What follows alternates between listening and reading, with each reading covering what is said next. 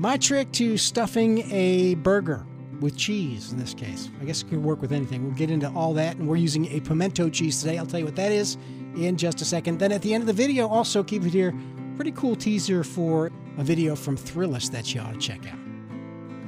So, what is a pimento? No, it doesn't. They're actually, these things are stuffed inside of olives. They're not part of the olive. A pimento is really just a cherry pepper. It's a little sweeter, maybe, than a red bell pepper, and you find them, uh, we usually find them jarred, small jars of the diced up pimento. And they're soft, so it's not like using a fresh chopped red pepper. And around where I am, I'm in Charleston, South Carolina, pimento cheese is kind of common. You hear it's like the caviar of the South. Actually, I love good pimento cheese with a pretzel. But in this case, we're going to be stuffing it inside a burger here. The recipe for pimento cheese is pretty simple. You got the pimentos and use I just use the shredded cheddar that you buy in this grocery store. Some mayo, a lot of cream cheese, and you can make it hot with cayenne. Uh, you want to get all the detailed spices. I put the recipe on the blog. A brick of cream cheese, and essentially this is about how much it makes. And the kind of the trick to stuffing a burger is you get the cheese done first. I roll it up in parchment paper like you're seeing here, make it easier to handle because I'm going to be slicing it into discs. So then you take the cheese, you freeze it doesn't have to be rock hard, but pretty hard.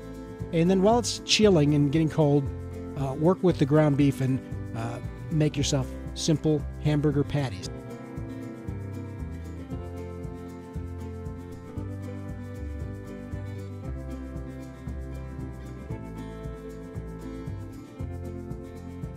Here's the trick to stuffing it.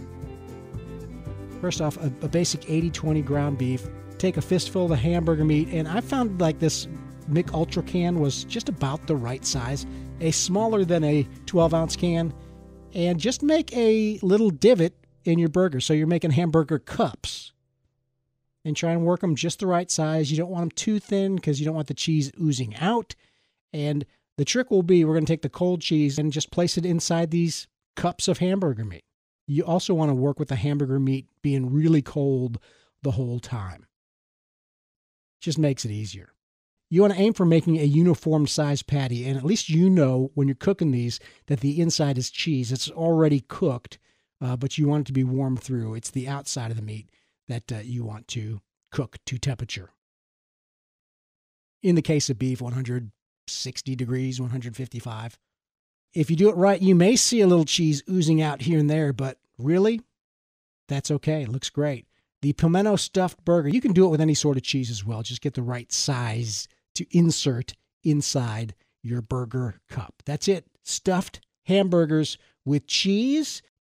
The one thing I've never really tried, and now I've got to try it, is dry aging steaks and meat. You got to see this uh, new video from our friends over at Thrillist, where Dave takes a deep dive along with New York City steakhouses on how they dry age their meat. Take a look now. It's at Thrillist, and go ahead and subscribe to the YouTube video. And if you want my free cookbook, there's a link to it in the description of this video here, or just head on over to www.barbecuetricks.com.